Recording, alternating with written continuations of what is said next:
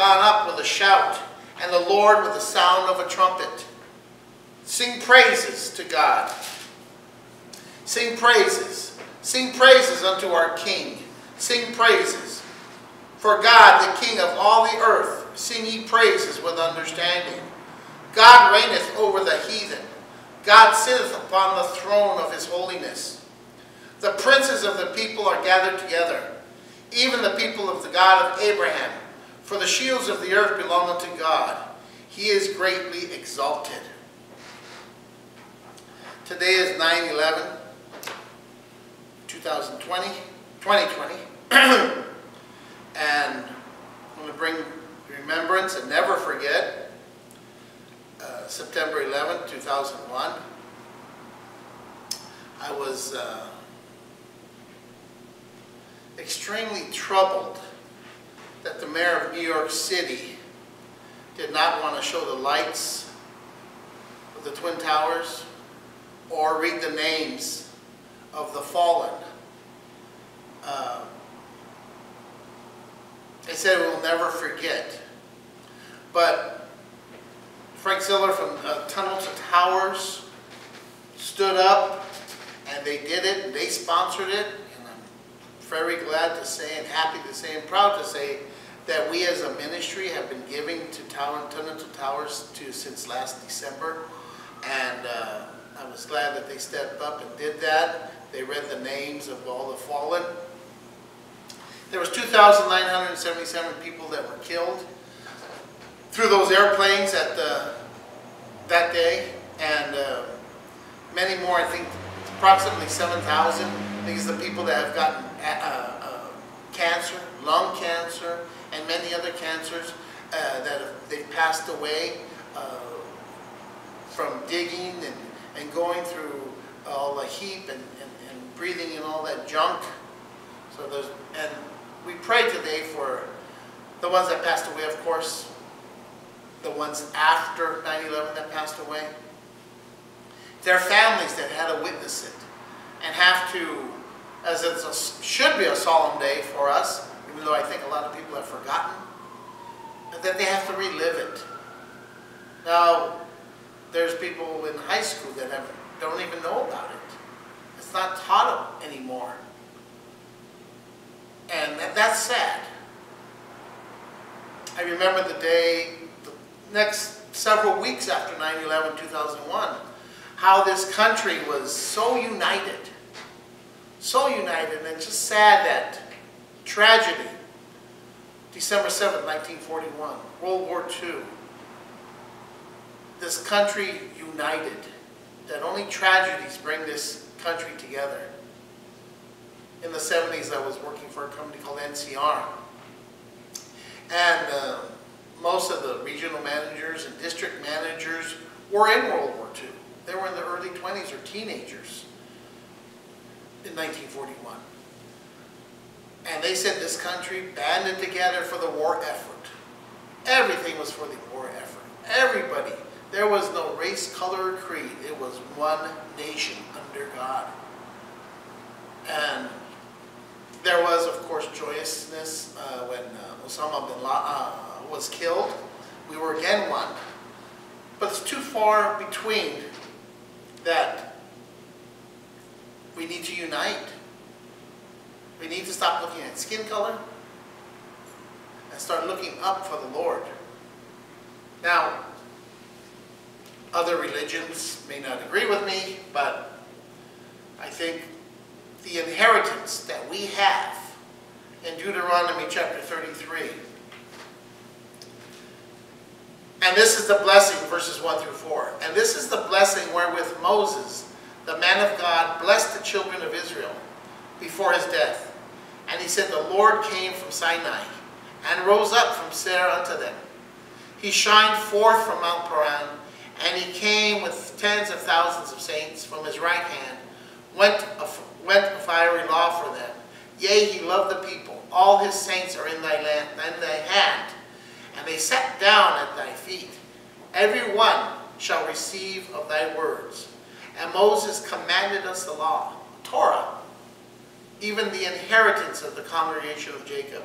And that's our inheritance, if you believe that. I personally believe that. That this country was formed under the Holy One of Israel. Jesus Christ, Yeshua HaMashiach, the Father, the Son, and the Holy Spirit. And also, obviously don't want to forget the gentlemen that lost their lives in Benghazi in 2012. Uh, Ambassador Chris Stevens, Sean Smith, and the former SEALs Tyrone Woods and Glenn Doherty. Glenn Doherty went 300 miles to get to Benghazi because he was stationed in Tripoli. It's much like, I have a couple of hats here from the fire department of the New York and the NYPD. They ran into the towers. They didn't run away, they ran into the towers. And the cows, a lot of those towers co uh, collapsed on them.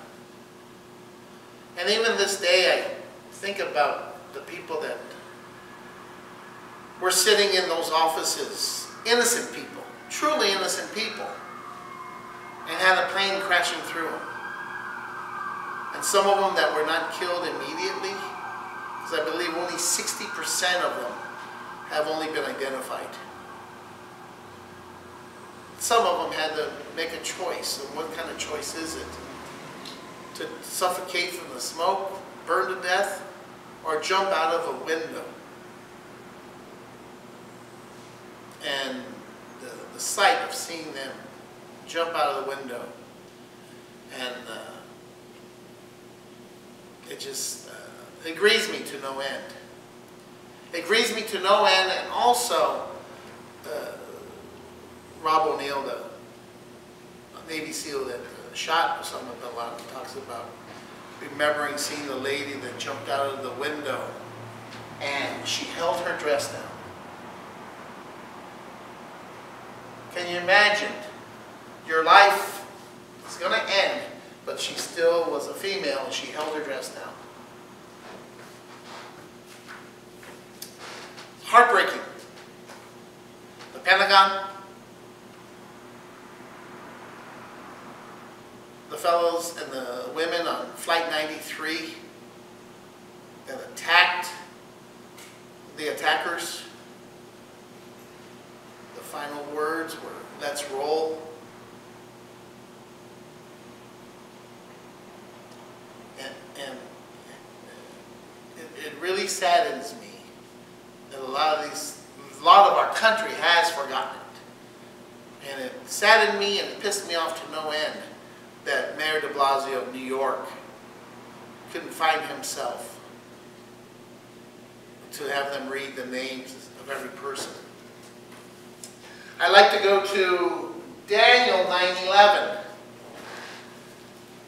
Daniel 9.11. We're, we're going to get to Yom Teruah. Yom Teruah is actually beginning next week on the 18th. We will get to a little teaching of it tonight. Psalm 47 was part of it. You heard it, the trump of God. Uh, but I also don't want 9-11 to go away without the teaching. And you probably know this, but I thought I'd bring it back to remembrance.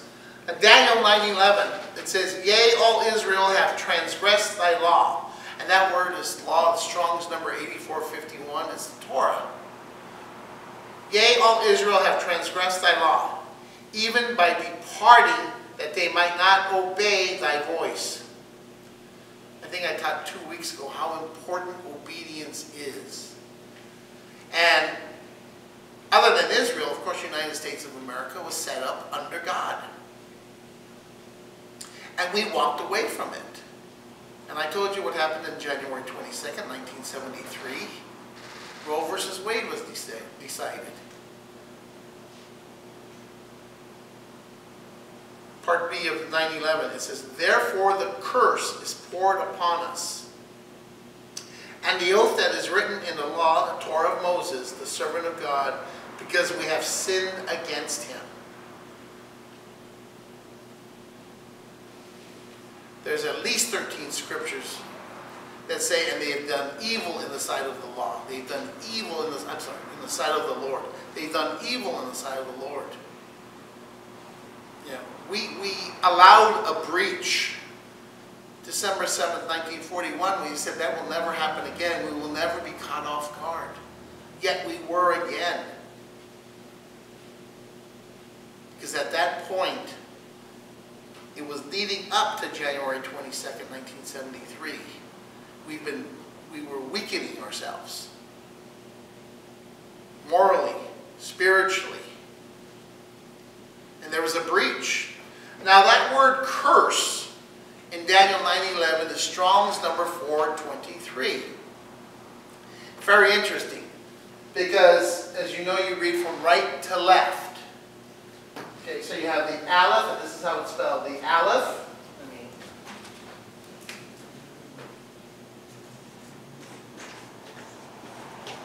the aleph um, for space, the lamed, and this letter is the he.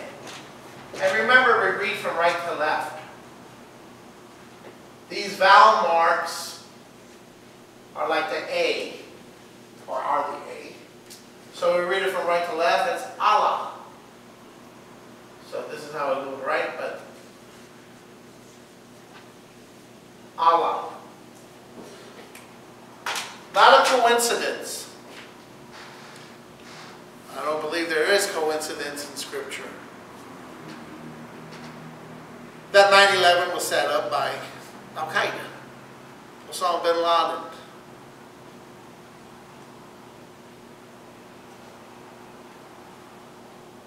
I believe maybe two or three months after 9-11 in 2001, I, I was starting ministry, starting to go to ministry. And the churches were packed. The churches were packed, overflowing. Not just our church, all the churches. And little by little, stopped being packed. I believe God allows things to happen to bring them closer to Him. I taught four or five months ago, this coronavirus, corona means king.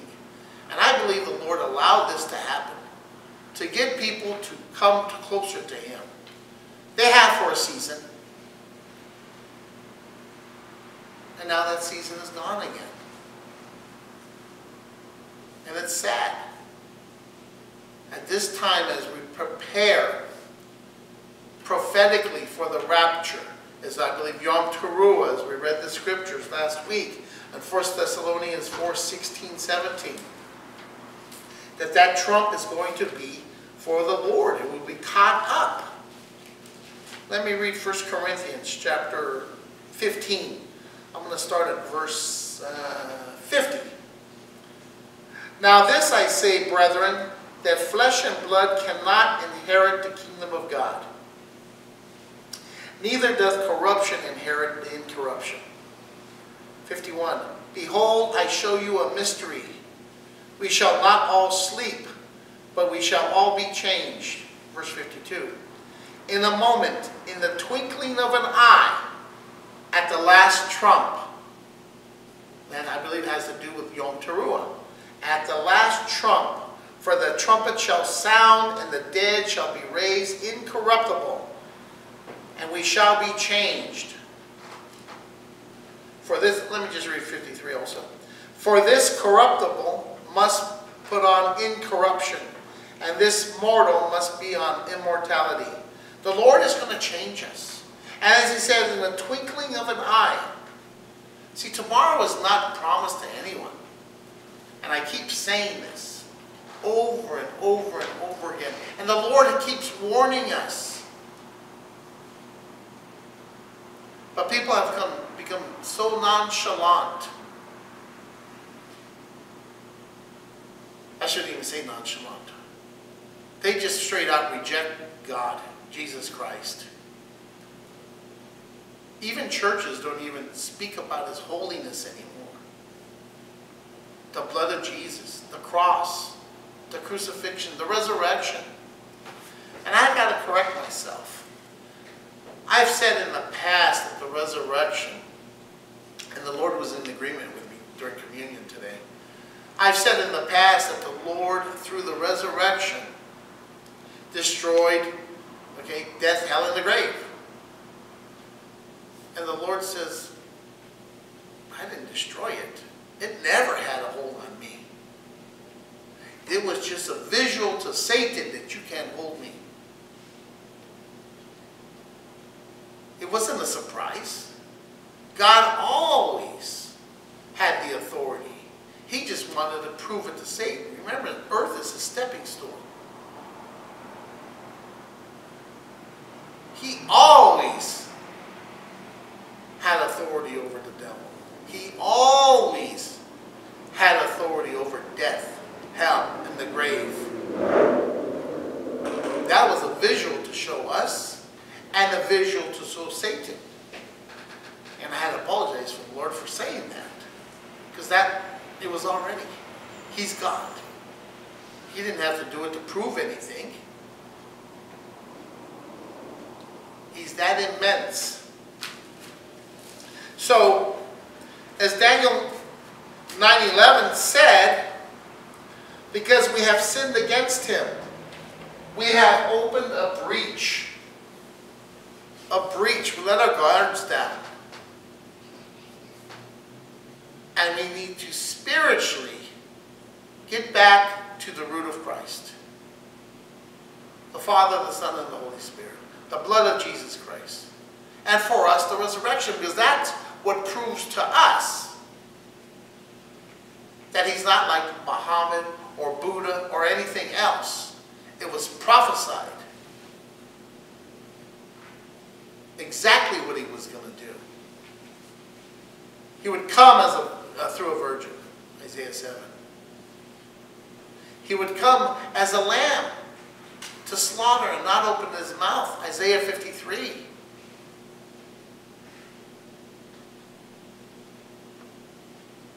He will come to set the captives free,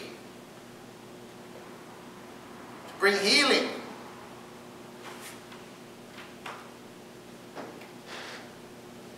The wages of sin is death. That's why I saw when people get, people even leave my church because I'm too strict. I tell them get off social media, stop jacking around on that stuff. Focus on the cross. That needs to be your focal point. Psalm 1, meditate on the Torah day and night. We can't have any open doors to the enemy.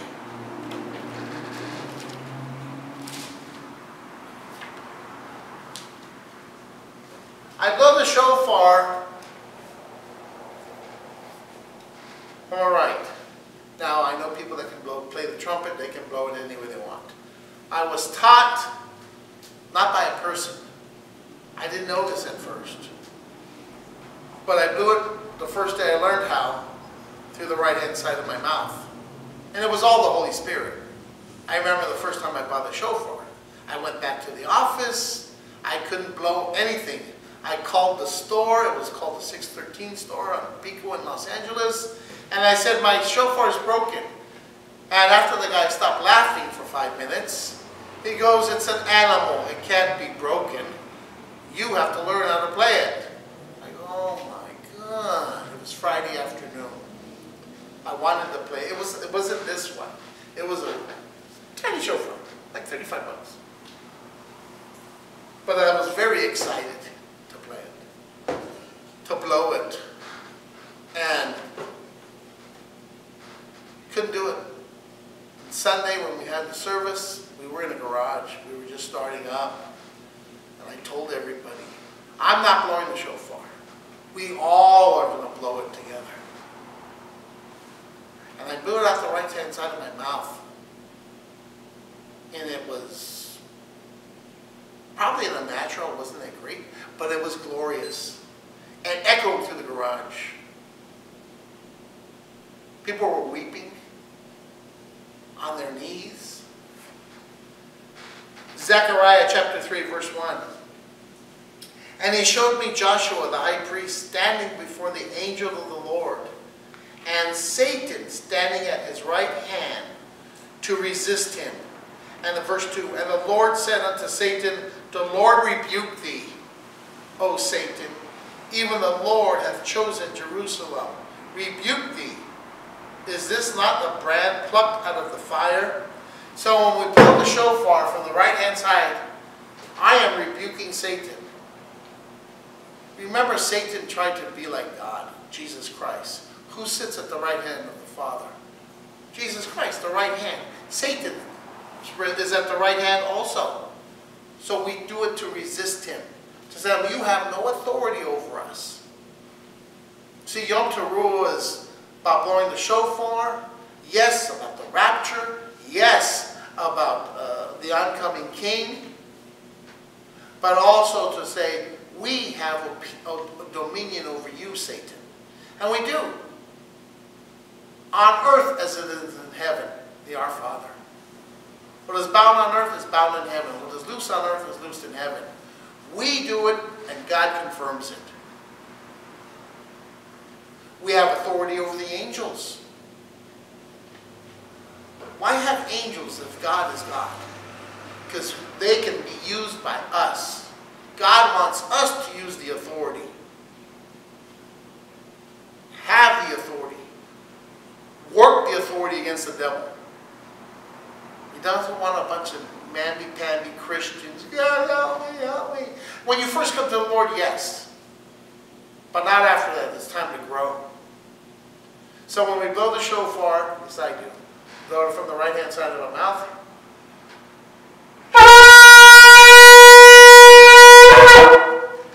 And we are blowing, this I am, to resist the devil.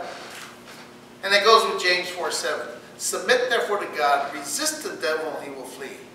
A lot of people say resist the devil, but they forget the part about submitting to God. That's the key. When you submit to God, he, he must increase and we must decrease. When that happens in your life, then God will give us those blessings and keep those commitments. If we can look at uh, Genesis, real quick. Chapter 12, probably get tired of that. It's called the Lech Lecha. I'm going to read from verse 1. Now the Lord had said unto Abram, Get thee out of thy country, and from thy kindred, and from thy father's house, unto a land that I will show thee. And I will make of thee a great nation, and I will bless thee, and make thy name great, and thou shalt be a blessing. Verse 4. And I will bless them that bless thee, and curse him that curses thee. And in thee shall all families of the earth be blessed. By the way, those curse, the word curse in those, that is separate than this one. Okay? That's why we always need to go back to the root. Okay? We lose so much translation from the English, from the Hebrew. That's why we always want to go back to the root of the Word of God. Um, verse 3, let me read that again. And I will bless them that bless thee, and curse him that curses thee, and in thee shall all families of the earth be blessed. Verse 4. Excuse me. So Abram departed as the Lord had spoken unto him, and Lot went with him, and Abram was 75 years old when he departed out of Haran. 75 years old. You know, Yom Teruah is a moed, an appointed time, just like Passover, Pesach, uh, Feast of uh, Unleavened Bread, Hag uh, Festival of First Fruits, Hag Bikurim, uh, Shavuot, which you might know as Pentecost, all was, they say, moed, okay? Appointed times, festivals. Now we're approaching Yom Teruah. And 10 days after that, it'll be Yom Kippur. And then five days after that, it'll be Sukkot.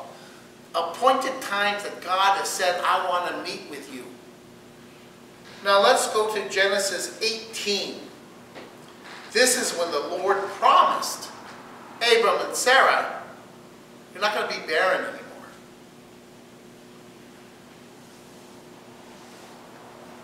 Verse 11. Now Abram and Sarah were old and were stricken in age, and to be ceased to be with Sarah after the manner of woman. Therefore Sarah laughed within herself. Of course, after the angel said she would bear fruit, saying, After I am waxed old, shall I have pleasure, my Lord, being old also? 13. And the Lord said unto Abraham, Wherefore did Sarah laugh, saying, Shall I of surety bear a child which am old? Now here's the key. Verse 14. Is there anything too hard for the Lord? At the uh, time appointed I will return unto thee according to the time of life, and Sarah shall have a son. The key right there is at the time appointed. The appointed time. That is Strong's number 4150. It's the same word for feast or festival in Leviticus 23. Is anything too hard for the Lord? At the time appointed, I will return unto thee according to the time of life, and Sarah shall have a son.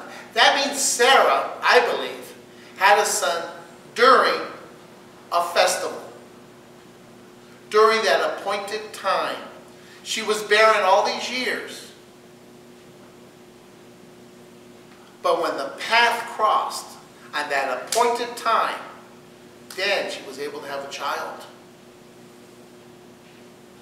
See, when you're in correct alignment with the Lord, when you're obedient to the Lord, when you're keeping His festivals, when you're walking and keeping His statutes and commandments, when you're walking in step with the Lord, the enemy can't touch you. He can try, but he can't. So next week we will continue. It'll be September 18th. Actually, it will be the day, and I expect to see you on that appointed time. And please pray for the people that gave up their lives from the New York Police Department, Fire Department, and all the innocent people and their families and the people that were digging that died of cancer afterwards and are still sick. God bless you.